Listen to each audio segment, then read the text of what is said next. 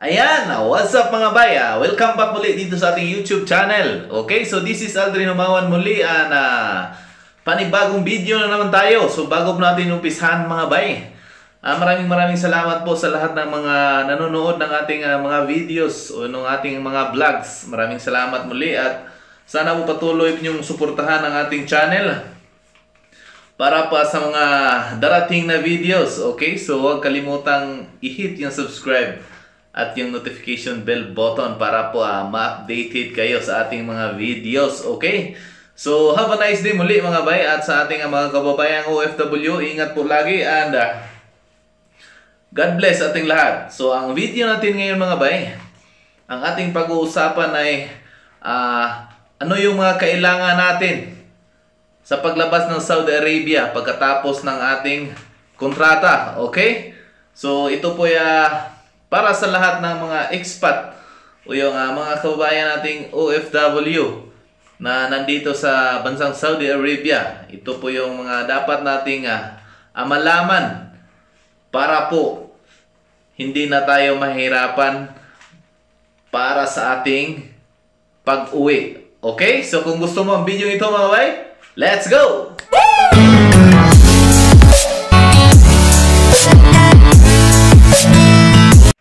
So ayan mga bay. Okay, so welcome back muli dito sa ating video. Pag-uusapan natin ngayon yung mga basic na kailangan para po makalabas ng Saudi Arabia pagkatapos ng ating kontrata. Okay? So ito po yung mga bagay na dapat nating makuha o dapat nating ma ma-acquire bago tayo aalis. Okay, so ito po tatlong basic na kailangan nating uh, uh, makomply para po tayo ay makalabas o makauwi ng Pinas. Okay? So una mga bay, ito po yung visa. So ito po yung nagpapatunay na isa tayong uh, legal na OFW na dumadaan sa ating uh, gobyerno at aprobado ng uh, Saudi government. Okay? So marami pong klase ang visa mga bay. So ang pag-uusapan natin ngayon ay dalawang uh, klase lang para po sa mga uh, kababayan nating OFW na gusto nang uh, makauwi ng Pilipinas. So, ang una po nito mga bay, ito po yung exit visa. So, ito po ay binibigay sa mga OFW na kung saan uh, hindi na babalik o yung uh, mag for good na sa Pilipinas o yung mga OFW na hindi na uh, babalik sa kanilang amo Ayan. So, ayan po ang kukunin. Exit visa.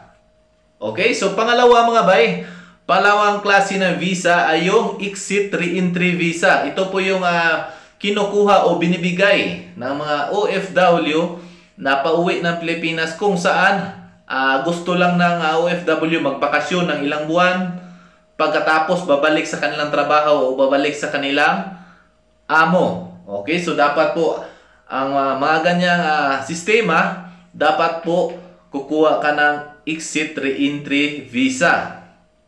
Okay? So, maliwanag na tayo mga bay.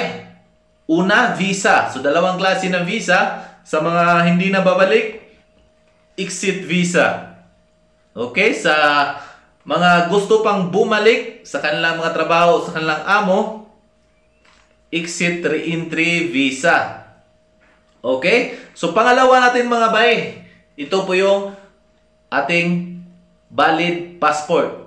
Okay? So, kailangan natin ng valid passport kasi isa din yan sa requirement sa pagkuha ng uh, ating uh, visa. So, dapat po ang inyong passport ay hindi expired. Okay? So, dapat updated po. Okay? Yan po ang pangalawa natin mga bay ha. Passport. So, alam po natin lahat yan. Yan po ang ating uh, uh, papilis na nagpapatunay na tayo ay isang legal. Okay? Legal na OFW na dumadaan sa legal na proseso. So, ayan po. Visa, passport. Okay? So, pag nakomplito na yan mga bay, yung dalawa, so medyo malapit ka na nga uh, ano ba tawag nito? Malapit ka nang mag-impake Kasi pag na-secure mo na yan mga bay, ang last mong dapat pag-isipan na lang ay yung ticket. Okay, so ang pinaka-last nating i-secure ay yung plane ticket. So, either ikaw yung bibili ng iyong ticket o ah, amo o sila mismo, ang amo mismo. Pero kadalasan mga bay sa mga OFW, lalong-lalo na sa mga household workers, so kadalasan po niyan mga bay sa mga ganyang sistema o ganyang ah, posisyon ng ah, pagtatrabaho ay ah, amo po mismo ang bibili ng ah, ticket. Whether it is ah, back and forth o one way na ticket. So ayan po, uulitin natin mga bay ha, mga kailangan natin para sa paglabas o para sa pag-uwi ng Pinas. Okay? So, una, exit, visa, o kaya exit re-entry visa. Okay? So, pa- pangalawa, valid passport. At ah, ang pangatlo ay yung ah, plane ticket. So, marami pa yung ah, mga ah, karagdagang ah, ah, guidelines mga ba. Example po niyan ay yung mga arrival ah, guidelines. So, sa next video, pag-uusapan natin kung ano yung ah, mga additional guidelines lalong-lalo na sa panahong ito yung ah, may ah, pandemic o yung may ah, COVID.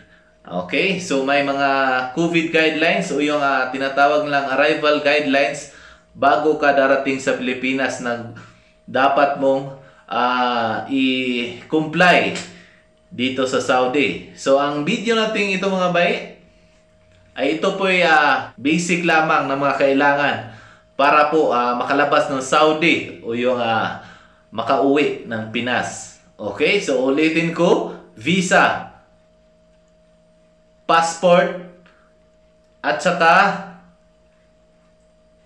plane ticket. Okay? So sa visa naman mga bay, amo po mismo ang nag-process niyan kasi ah, nakasaad po yan sa kontrata na mostly lahat ng mga kailangan ng isang OFW ay ah, ah, obligado pong ah, ah, i-comply o ibigay ng isang ah, sponsor o yung ating ah, kafil o ating amo. So, responsibilidad po nila na ibigay lahat ng mga kailangan natin ah, ayon sa mga nakasaad ng kontrata o ayon sa batas ng ah, Saudi Arabia at ah, ng ah, ating ah, Philippine Embassy. Okay, so maraming salamat mga bay. Sana po ah, sa video ito medyo naliwanagan na kayo at ah, huwag niyong kalimutan ah, ah, maglagay ng inyong mga comment, like or dislike sa video kung gusto nyo o kung hindi nyo gusto, okay, open po lahat. Pero ah, ang hingin ko lang sa inyo mga bay, just comment down below para po ah, malaman natin kung may mga tanong kayo ah, ano yung ah, mga dapat pa nating ah, pag-usapan. Okay? So, di ko na to patagalin mga bay. Thank you for watching. Lagi po nating tandaan, be in God always. Peace.